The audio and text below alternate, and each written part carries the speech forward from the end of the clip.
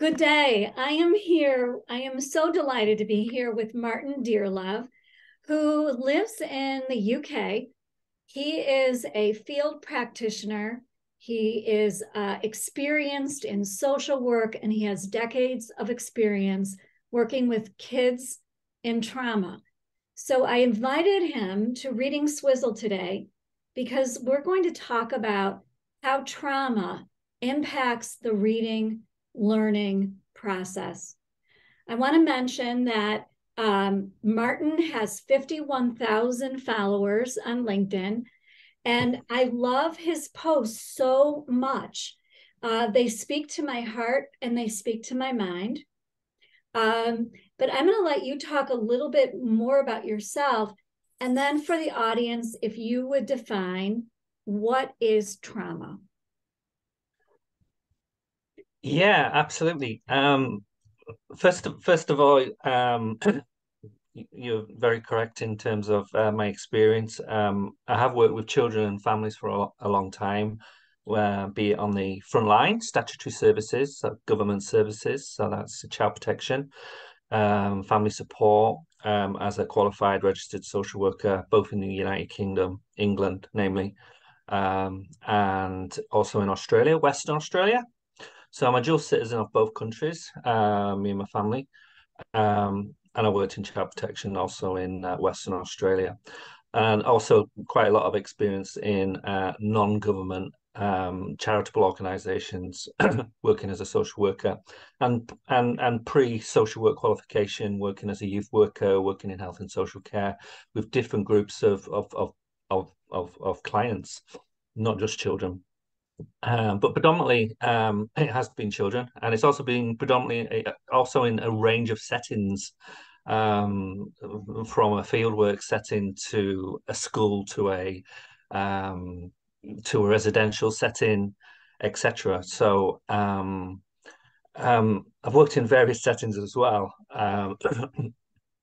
so the issue of trauma, which has become quite um, close close to me um, and close to my children um, for various reasons. Um, for me personally, I, I, I had very early childhood trauma, um, as did my children. Um, so I, under the age of three, we talk about the first thousand days, and and I had trauma with no memory um, of it, and memory as in you know I can remember it. Um, and you, children don't remember much under three anyway because it's implicit memory, and I think it's down to two and a half now that, that they've managed to research that you could probably remember things. It, it, was previously about three and a half; it's about two and a half now. Um, but also this disso- dissociation, um, and there's also the theory that you split when you have trauma, that the mind splits and you cut off like cutting a wire.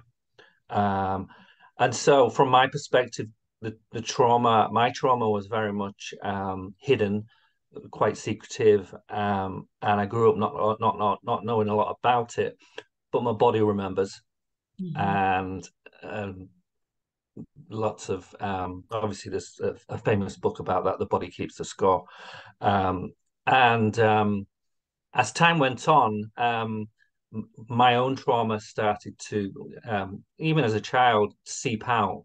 But trauma back then wasn't really spoken about. Um, it was more related to soldiers in Vietnam. Was was predominantly the the the, the first um, link I had with trauma in films, in on, on in documentaries. Uh, it was always related to soldiers, which it is. Um, but anybody can have trauma. obviously. Um, in relation to my children, well, both my children are adopted.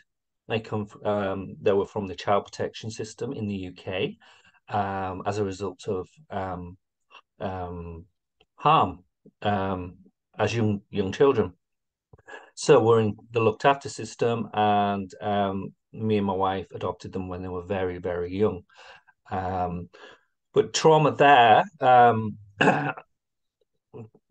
came from trauma can come from um, a whole range of things. It can be genetic, it can be intergenerational trauma. Um, you see that as a, in Western Australia, we um, I saw that a lot within the Aboriginal community. as you would in America as well with the First Nations people.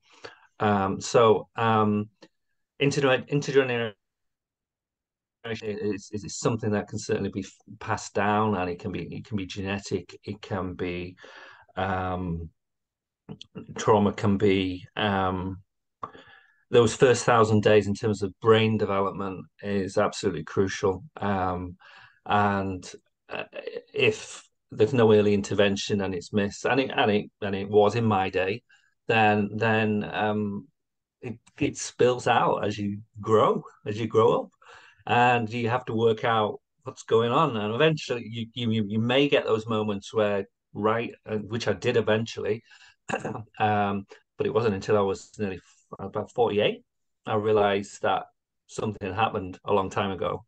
So that that took a long time. Um, my children, because I probably because of my experience, my reading, my um, everything that's happened to me, but also and um, being in the profession that I was in, I was able to be very open with my children in terms of what trauma is and what they experience and what they were experiencing, what their triggers were, and be able to be a therapeutic parent. Um, and so they receive very therapeutic um, understanding and parenting, which is completely different to, to traditional parenting, completely differently, completely different. Um, and you have to be because of the trauma response in the body. Um, and um, often children will come with comor- comorbid conditions. So, although they are diagnosed with PTSD, they're also diagnosed with ADHD, some argue that the two are closely related and, and are formed uh, as a result of the former. Um, um, also, ASD, sensory processing disorder, um, and learning difficulties. So, dyslexia, dyscalculia, dysgraphia um, are the three they are both um, uh, diagnosed with um, through the Dex- Dyslexia Foundation in Western Australia. So um, reading, uh, when we come to learning and reading, um, uh, they were both moderate to severe. So one daughter was severe, one one daughter was moderate in relation to those three categories, which are to do with maths, to do with reading, to do with spelling, to do with writing, etc. And they had all those other things alongside it as as as well, which we we we we didn't we didn't quite know at the time. Um, we didn't have a diagnosis. We knew something wasn't right, and um, uh, and I guess I'll touch probably touch on this point again. I think I've mentioned already the importance of early intervention mm-hmm. in trauma, um, and within the curriculum and within education, um, to work out um, um, a, a, a really robust plan um, to be in the right school, in the right environment for a child um, to be able to reach a goal of being able to read. Uh, for example, um, my children went through three primary schools and two periods of homeschooling, and currently they're out of school. I'm a stay at home dad. We've just got confirmed today a school that they won't start till September, but it is a special needs school. Um, it's excellent. Um, we moved back to England as a result of poor education in Western Australia and um, and returned to the UK where we knew the education would be better. And they also looked after their children who were adopted much better as well through the government, through the adoption fund, which would deal with the trauma and also deal with the educational issues. So, so, Martin, did you have, since you experienced childhood trauma, did you have difficulty learning to read or write or do maths? No, I didn't. No, I didn't. No, I, I, I was, I was, I was average, but I didn't have, I didn't have problems uh, at school. Um, I had a, a, limited amount of speech and development, speech and language development therapy, but other than that, I was, I was okay reader. Yeah, yeah. I, I didn't have that. I didn't have that any difficulties with that. Uh, and I went on to university and was able to read well and analyze well and comprehend well and um, get a degree. That's yeah. Awesome. So Tim Shanahan is a reading literacy expert and he has his own blog and he's out of the University of Chicago. So I just posted on my page and I'll attach it to this YouTube. But one of the things that he says in his article, so he synthesized a lot of the research um, that really they so kids that experience trauma would be helped by schools that are sensitive to the trauma, but not uh, shortchanging kids in any way with their reading and writing and maths. Do you agree? Um, I'll speak from um, what I've observed very closely with my daughters, um, and and it'll be a, it's a Western Australian perspective. That's the best I can give. Um, but but it's it's it's it's what occurred for them from about the age of five or six. So after kindergarten and moving on to year one, year two, as we, they refer it in Western Australia, um, was was fairly large group sizes of, of reading um, and and individual time with, with, with with teachers as well. So a mixture of both at sort of what you'd call level one, level two, and I think you would go to level three grades. Level three is where you've really got the one to one all the time. Level two is small groups. Um, level one is the whole class. Um, and and and that um, was how kind of how it started off for the girls. They weren't, even though we raised an issue that even though we were reading them, because it's uh, you know I, I see reading as everyone's responsibility around that child um, parents, not just teachers, not just education, but also you know family. Uh, um, you know, books were always out, always read, bedtime stories, etc. So, um, and the girls would always be taken to the library, and they would love to pick books, but the signs were there that they were beginning to fear, scared of reading, and it it it didn't come through the education system that they were having difficulties it wasn't getting to us as parents. We we could mm-hmm. see it. So we were saying, I think they have dyslexia. I think they're having problems with learning to read and they need additional help.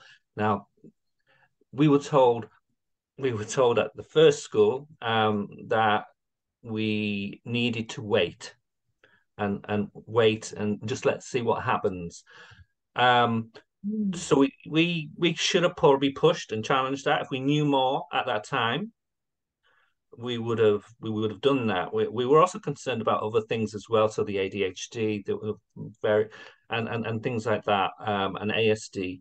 Um, so we and um, it, it it's it's I think amongst everything, and this is a lot of people find it hard to get um, when when when when you're a doctor, you're a foster carer, uh, um, and and you have children with comorbid um, comorbid um, conditions that it, it you, you can you you become fatigued as a carer as a parent and you, and you miss a lot of things and you you you become extremely tired and exhausted and burnt out very quickly.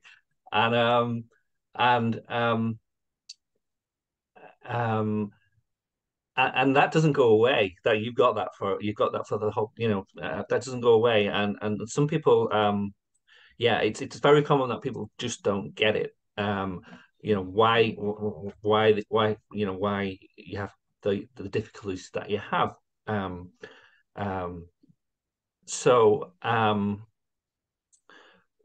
picking up on the reading without without focus was was difficult for us and to push it forward. And we did push it forward eventually um, but nobody um, we had to do it ourselves. And it wasn't until there were approximately nine and ten we went to the Dys- dyslexia SPELD foundation in perth western australia where they were um, appropriately assessed for um, um, as i mentioned dyslexia dyscalculia and dysgraphia. Um, at a severe level.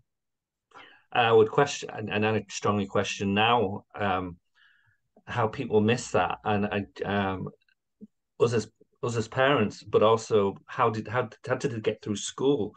And there's a degree of masking. Um, the youngest certainly could memorize and mask a way through a, a book, so she wouldn't change her book for a long time, and she she kind of go weeks with this book, um, and nobody noticed, and and then she was able to tell enough about the book to, to the teacher, etc., and to be able to read words which she had no comprehension of whatsoever.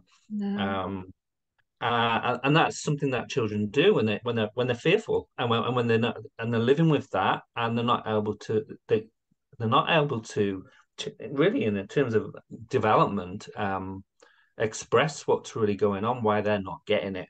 Why why am I as a six seven year old not getting this? I'm finding this hard. Um, and so um, eventually and, and so so so eventually um, they eventually they um um difficulties were then expressed right in relate in relationships within the classroom. Um they became they were bullied um they obviously had the learning difficulties which we were picking up on and they were they were struggling to um um um thrive in classroom um, and thrive in the playground. Um, and so, so they had a whole range of commo, commo, commod, commodity, commo, com, comorbid uh, situ, um, difficulties which um, they were dealing with, and they were targeted by other children, and a lot of the teachers didn't know how to deal or understand or what was going on with them. Um, hence three primary schools and two periods of homeschooling by the age of nine. Um, and the, the, bullying was quite severe, severe, um, and um, we had to remove them as a result of that um, from school to school. Yeah, I, I believe Martin that your story resonates with so many people across the globe and especially parents, people who have lived with trauma their whole lives. Um, this show is primarily about reading and making sure that writing and literacy is well addressed. You're a social worker, which I love because you're you're a field practitioner, and I have the utmost respect for people who are working with people and not just reading um, journal articles or writing them. I am a dyslexia specialist. A lot of people in the US that are educators uh, follow follow me and you have uh, many more. What would you say from your perspective as a parent, a social worker, what do schools across the globe need to do? Like if you were able to design the most ideal school, what would yeah. it look like? What what components do legislators need to know that we need to incorporate this into our public school systems? Um, I think the the the the the, issue the issue of reading um, with children from such such backgrounds. Um, we talk about trauma informed schooling. Um, it's an it's, it's a development in America as it is here in England with trauma informed schooling. Um, there's there's it's very complicated and it's very individualized to the child. It's very systemic because there's a number of organizations and people involved within being able to enable that child or group of children to um, flourish in a school environment. Um, it was no surprise to me that in Western Australia, homeschooling certainly increased.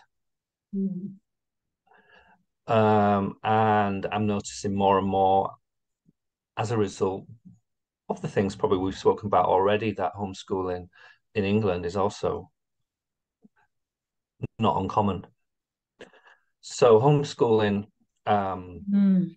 I think it's I think it's worth just noting that, that that you mentioned lots of parents globally have, have because they've reached a point where they they they have to homeschool. So when we, so when we're thinking about how a school is and what a school needs to be, um, if I if I take my youngest child who had this most severe learning difficulties, uh, um, I, she needs to receive nurturing. She needs to feel safe. So you, I've mentioned the bullying. So safety was a big thing. If she wasn't safe in the classroom and she was made to read, which she was, everybody laughed. She ran out of the class down the road. Horrible. Um, she was shamed. You know, she was shamed, and she's never forgotten it. She now has a very, very um, reluctancy to attend school um, because it happened at such a young age, and, and she had all these other things on top of it as well. Um, so um, advocacy is really important. Mm-hmm. Advocacy is really important, and the um, and bullying we hear about it all the time, but mental health in schools is is massive. Mm-hmm. It's a massive issue, whether it's with teenagers or whether it's with young children. It's it's there. It, it it's it's it's there. Um, gender issues as well, boys and girls, um, in terms of um, and countries vary on this, and a lot of the Scandinavian countries seem to be very good at education. Um, lots of good research coming out from from from places such as Denmark, Finland, um, Iceland, etc um, and how they, when they start school, plays a very important thing in relation to children. I've just posted something on LinkedIn today about exercise during classes. Yeah. Doing the squats, doing the push ups, and things like that. Um, you have to be able to you have to be able to engage and nurture children um, and specific children are going to need greater help and support, and it's going to be needed at an earlier point of child development. So, so Martin, do you think that having dyslexia specialists in every school would be the answer to? Uh, to absolutely, absolutely, absolutely. Um, and some schools do say this. Uh, one school we did go to apparently had all the teachers were trained in dyslexia, and it wasn't true. Mm-hmm. Uh, it wasn't true. Right. Um, so um, having specialists in school in in dyslexia, but also dyscalculia, dysgraphia, absolutely, absolutely. Um, my two daughters at the moment they go to a um, an out of school education program run by the local authority, um, just three hours a week, but they have it one to one, and they have maths for an hour, maths English for an hour. If we talk about dyscalculia, the tuition she got, she's a very visual learner. So mm-hmm. we know she's a visual learner, and they used the, the teacher she had used lots of visual uh, techniques with her in algebra, and she got it. Good. Good. Got it. Absolutely got it. Got the fractions. Everything was visual. Now I'm an active learner. I'm not a visual learner. Um, so if we if we understand some of those things, you know, how your child learns, um, we all learn in different ways. Yes. And, and children with these uh, who are new um, with, with neurodevelopment, who are neuro, neurodivergent, um, they have different bus paths, as I call them. They have different bus routes. They do. They get to an answer in a very different way, and and and and and um, and it's not and it's often the, the same answer as everybody else. It's not necessarily wrong. They just get there in a different way. So specialists help them to understand that it's okay to be this is the way you learn exactly and and, and i want to and i'd like to point out that we have science to back that up because we have f fmri imaging out yeah. of stanford and harvard that show the brains of people with dyslexia yeah. are wired up in a different way completely. Yeah. So so through uh, the specialized reading, they learn they they learn systematically, explicitly, but that builds new neural pathways. But I also want to share with you um, Dr. Sally Shaywitz and her husband at the Yale Center for Dyslexia have done really groundbreaking work. Um, and I just finished a certificate course by her on Coursera. But if you get her book or you go online to the Yale Center for Dyslexia, now they can really she has the characteristics of children when they're three and when they're four and when they're five. So when yeah. parents are really like i don't know if there's something wrong uh, with my child there are definitely markers to look for. And so i'll put that uh, link as well onto this youtube. Um, yeah absolutely. I think you bring up and i think what happens in the us uh, Martin, is that we have such disparity because our public schools are funded by local by local taxes. So wealthier students yeah. have the better schools. I don't know if it's the same in the UK. Um, and that's really my my drive is to make sure that we are using uh, literacy practices in reading and writing to ensure that all students learn to read and write because I think, at least here in America, it is our greatest social justice issue. And it angers me.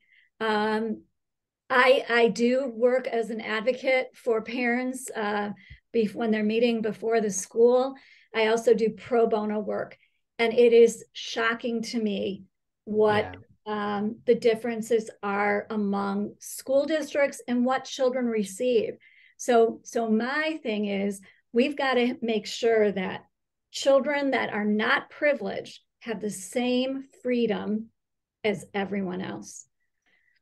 Absolutely. I, totally I totally agree with that um, in terms of um, poverty, in terms of um, regions, um, um, in terms of uh, unemployment, and all, all, those things that can go on in a home um, that impact on on a on, on on the on the child and and they carry the weight of that around with them as well and take that into school um, to be able to then learn um, is is is it's very difficult it's very difficult um, and um, it's it's such a complex complex picture um, funding is very important. I absolutely agree that that that that, that funding um, has to be there for children. It often often isn't, and and uh, you know, in it's, it's, the situation in the UK at the moment is a lot of local authorities don't have um, the money to get children into the schools which necessarily they need to be in straight away. So there's a lot of tribunal tribunals um, and complaints as a result of, you know, here I am, daddy daycare. Um, I've been looking after my children since June last year, since we arrived back in in the UK. They do now have an education healthcare plan, which doesn't exist in Australia, but it exists here, which is wow. it's, gold. it's gold. It's basically gold if you have an education healthcare plan. What does that mean? Because as an American, I don't know what that means. Yeah, well, it used to be called a statement of special educational needs. Mm. It's now referred to as an education and healthcare plan. So they have to just not just bring in your learning dif- learning disabilities or difficulties such as dyslexia, etc. They have to bring in the health. So they bring in post traumatic stress disorder, ADHD, all the neurodivergent stuff. So the report, the assessment, collate health and education. Awesome. So that, that, that, that is really that, it's a brilliant because it, it, it's what's always been missing. So the, the trauma doesn't get missed. So the trauma is in there in the plan that this child has PTSD, for example. Yeah. Is this yeah. a standard practice across the UK? Yes. Wow. And yeah. is this pretty new? Because I haven't even read about it. Um, uh, it's certainly it's come in since I've been in Australia. I was in Australia for seven years, so that's occurred within the last. I don't know. It, it's it's occurred in that period. That that changeover from a statement of special educational needs to an education and healthcare plan. Mm-hmm. And um, if your child receives that, then they become a priority. Um, you're, you're allowed to then look at schools which are outside the mainstream are specialized in helping children with those needs. They're referred to as um, special special needs schools, um, but they um, they take the pressure and the stress off the child because they're going into an environment where it's being developed to um, smaller groups, um, a more diverse curriculum, um, They can participate in other activities, um, outdoors, nature, horses, animals, all those types of things, cooking, um, and they can put together a curriculum around where their skills are, um, where they really where where they really flourish.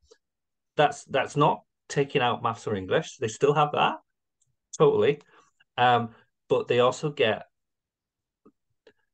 they also get lots of other things too in terms of being able to develop skills because they they they will often struggle if they would stayed in a mainstream school they would they would they would i know my daughters would struggle to uh, attain any any type of kind of qualification as such now at this point in time um, because they were delayed in um, diagnosis um, so um, so yeah, and also in the UK, if you're a looked after child or you become adopted, you also become a priority.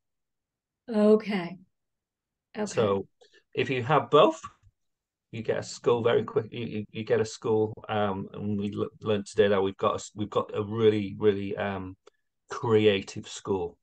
Awesome. Yeah, that can do the therapy in the school.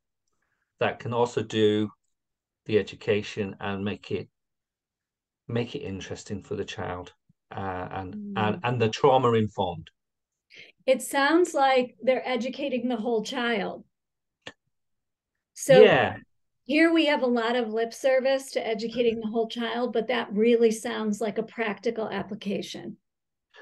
Abs- absolute absolute very practical very practical very um when they start this school they they will probably wonder what why is this so different? Mm-hmm. and we're not used to this. Um, so I'm, I'm waiting to the day to start um, because they can chop and change they can move they can move in and out of the curriculum they can change subjects they can if something's not working they can change it. They, have got flexibility they can adapt. Because mm-hmm. emotionally they dysregulate so quickly. So my, my children dysregulate so quickly. Um, but they also have trained staff who understand that dysregulation. So um, uh, uh, so if if if if the reading and the struggling, the staff there understand that. They understand that. But what we also learned from doing this one-to-one tuition, the closeness of that was that how they do learn now. So we can pass that on. We know that they're visual learners. So we know that to use that for maths and English and and, and so forth. Um, and, and and talking about reading, we've we've kept at the reading um, and we've done it through different ways, whether it's been done through an IT program after school, um, um, whether it's been through speech and language as additional therapy. Um, and the girls have moved forwards with the reading. Um, what I will say genetically, because we're not birth parents, the birth father couldn't read or write. Mm-hmm. So we bring in genetics. Um, he fell out of school very early on. Um, and fell through the loop and uh, fell through fell through the hook fell through the net um, so gen- genetically have they inherited the dyslexia the dysgraphia dyscalculia because dad can't yes. read or you know, birth dad can't read or write so um, but we're changing that cycle so we we there's a I cycle to be broken because because about 95% of people can learn to read yeah. they yeah. can learn the alphabetic code yeah. Um, are there long waiting lists for these schools? Uh, do you have to, you know, if you're not in one of the target targeted intervention groups? Yeah. Because it sounds like a private education. This is what private education, the best private education in the US looks like. Right. Okay. Um, there, there, there are long waits at the moment because because of the nature of the economic system in the UK and and the um and the the um, different councils or local authorities, as are called here, so different geographical areas. Um, let's say North Yorkshire, or we'll say parts of London. They all have different pots of money that are given to them, um, and and that has, by the sound of things, has reduced over time in England for various reasons, um, and so um, some some schools and local authorities have struggled um, to get children into the correct places quickly. Um, that that's the circumstance at the moment. Um, and um, yeah, if if if if you don't fall into some of those categories, um, it can be difficult to get the support that that you need. So, do you think money is the biggest obstacle? Yeah, okay. definitely. I think money's one obstacle. Um, I, if you're talking about Western Australia, I would be t- I would be saying that knowledge is an obstacle. Mm-hmm. Teacher training. So yeah. we talk about universities, colleges. Yeah. Yeah, it's so our teacher training, and here in the US, the reading wars, and I believe they go on in the UK as well. Yeah, yeah. You know, using programs that are not peer reviewed, they're not evidence based, and yet yeah. we're we're we're we're lathering on all of this instruction to kids, and it's not really supposed to be used for about 40% of the population. So that's the biggest thing i see. And and it's this you know i i grew up as a reader. I love to read. Um never saw my mom read a book ever in my whole life. Um yeah. so i think she had dyslexia. She repeated first grade.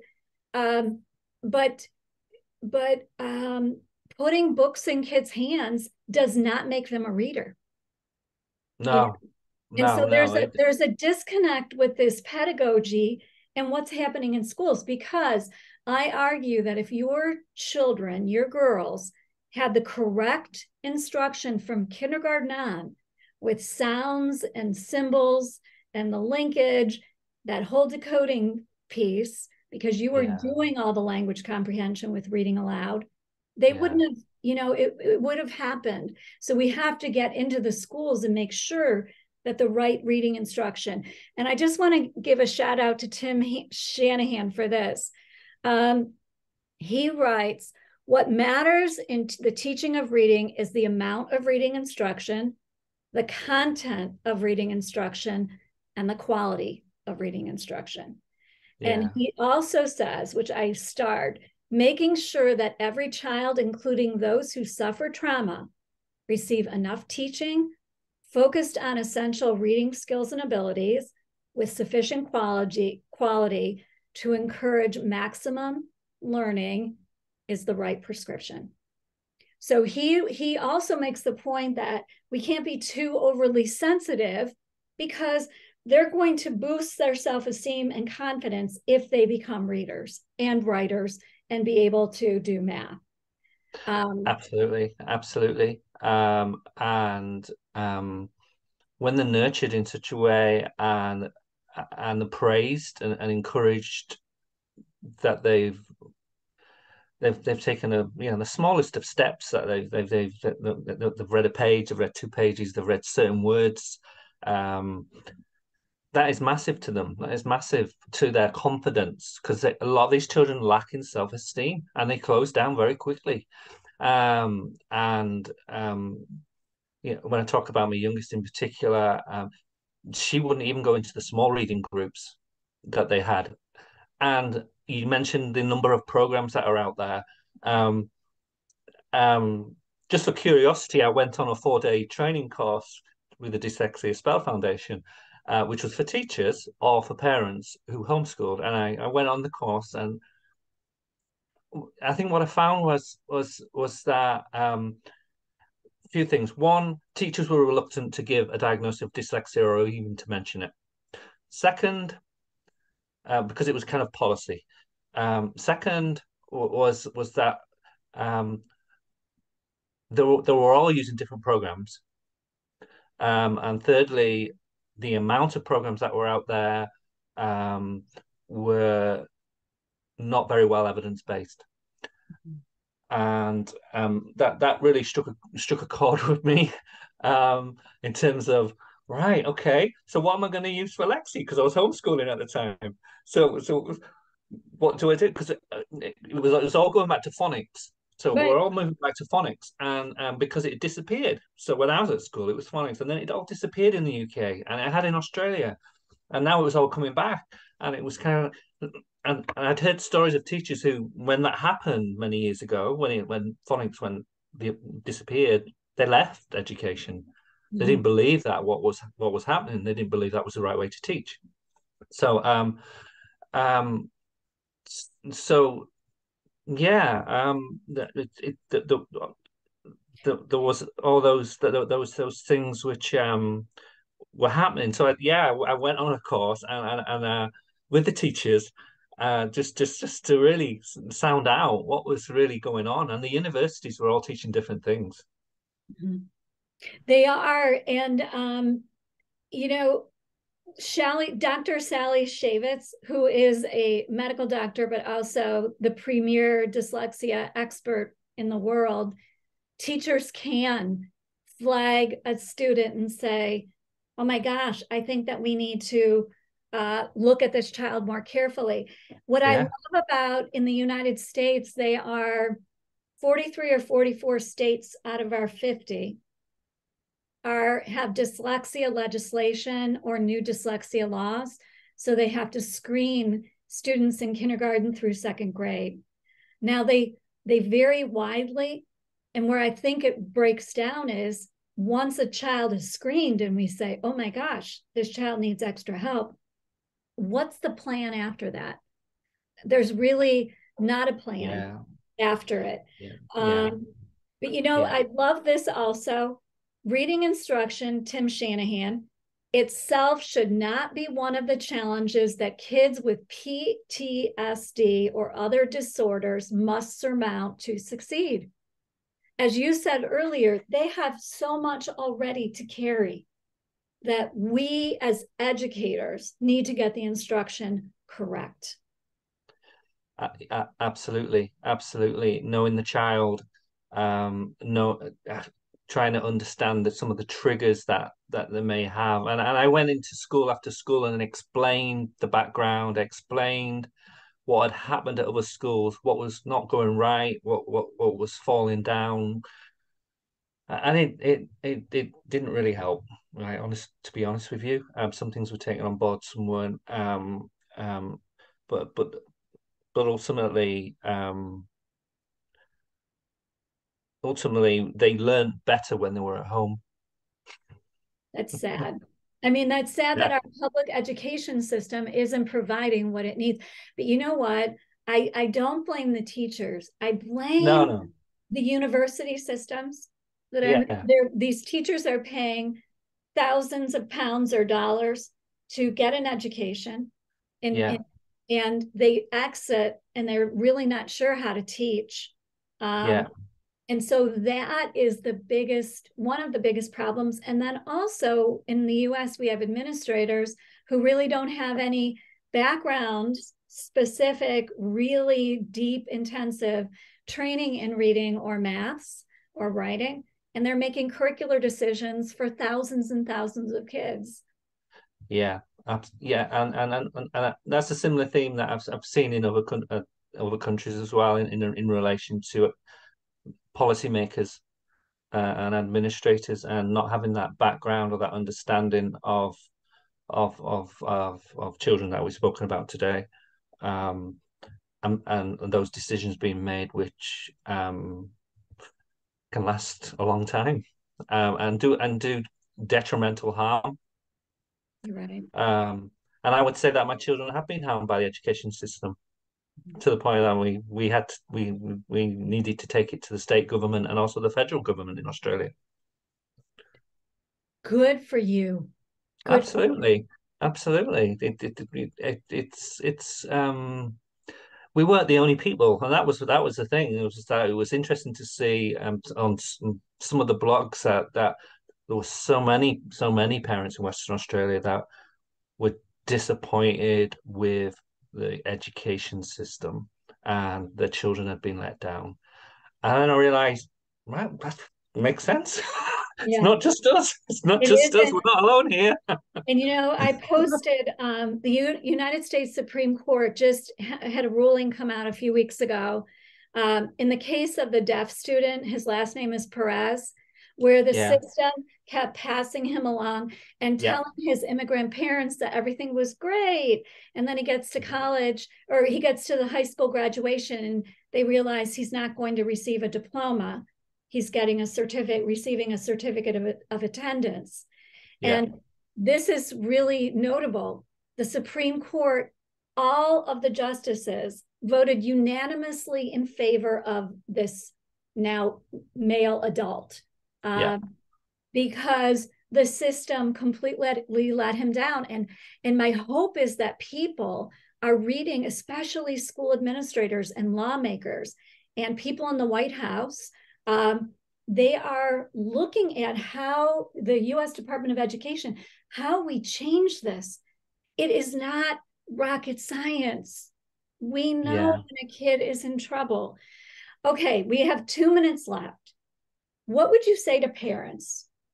So what what kinds of things do parents like any message that you have for parents of children who have trauma and or reading and learning difficulties?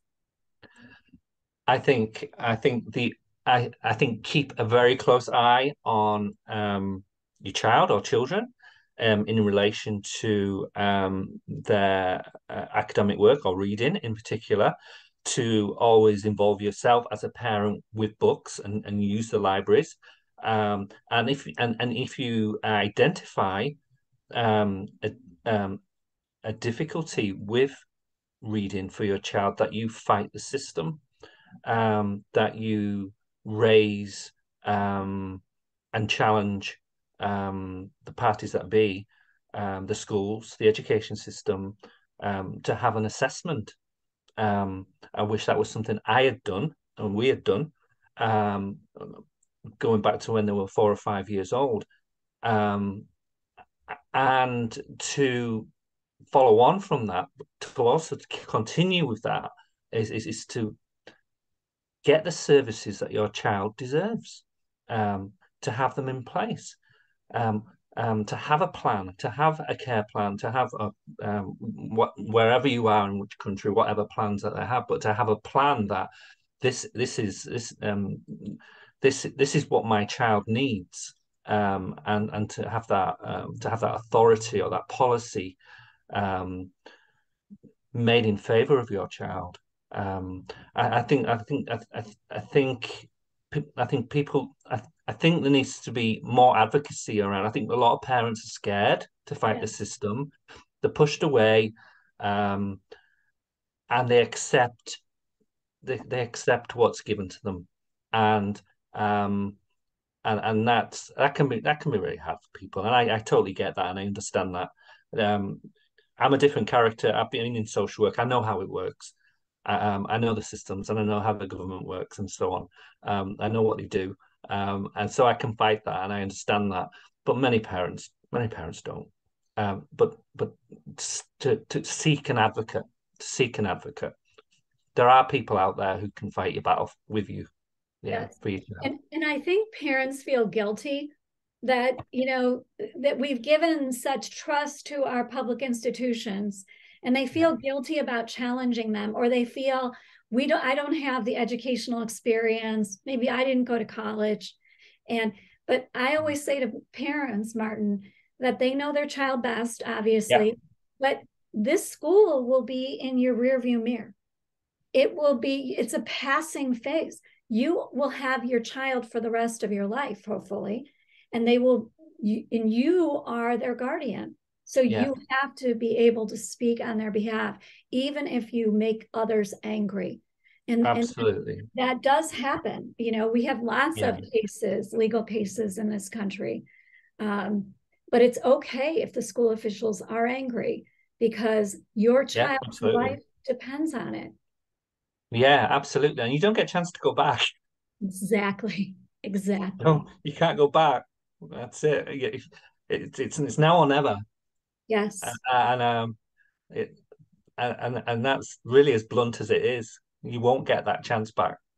And they're going to be 10 11 12 13 and then the, they'll drop out of school. Something will happen. Uh, a lot of, you know a lot of a lot of children drop out of school because they they, they they move into adolescence. And that's a whole different period of child development and you know storm and stress um which is well, it's often been termed um, they've got other things that you, uh, you know Well- if they're unable to read at that point that's really really Oh hard. yeah. And you know, the Barbara Bush Foundation, so she has a great website, um, but that talks about the economic impl- implications, the social and the justice implications. We have yeah. 83% of our inmates in the US cannot are, are functionally yeah. literate. Yeah. Um, yeah. So, Martin, do you do any parent workshops or parent trainings or anything like that? No, I, I don't at the moment. I don't do um, because I, I, I look after my children all day um, and during the night um, um, um, because my wife works. Um, I, I I don't get time to do that those sort of things. Um, in, from September onwards, um, when they're in school, I'll be I'll, I'll have an opportunity to um have a look at uh, a direction of where I'll be heading. I would like to develop a, an organization that I tried to set up in Australia called Childhood Essentials, which mm. would be very much an advocacy agency. It's about childhood and about what children need as, as a, the essentials of childhood. Um, and um, and, and pulling something together around a framework for childhood essentials. And uh, yeah, you're yeah, a gifted you're a gifted individual with priceless experience. And there was another i thought you could write a book. And what i what i loved you re- used this phrase a few times the first 1000 days. Yeah. If people only knew and you could write all about that. But i i um you know you you you said i have so much to offer globally. And that is why i'm so honored that you're with with me today because um, because of your experience and your practical knowledge and your training, um, you you can help change the trajectory of children all over uh, the world, hopefully. Um, so I'm going to say goodbye to our audience, Martin, and I want to just talk to you for just a second after I stop the recording. So I thank you for all the people who are listening on the podcast or watching on the YouTube video for joining Martin Dearlove, who uh, you can find on LinkedIn and message him there, um, for joining us today and really illuminating um, how childhood trauma impacts um, a person's life and their learning. And uh, even if they don't have learning problems, what schools and agencies need to do in order to wrap and educate the whole child. So um, thank you so much, Martin. You're welcome. Thank you very much.